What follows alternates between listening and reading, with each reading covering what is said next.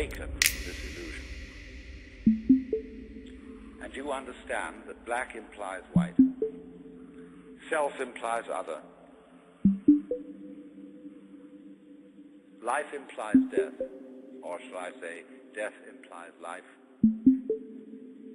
You can feel yourself not as a stranger in the world, not as something here on probation, not as something that has arrived here by fluke, but you can begin to feel your own existence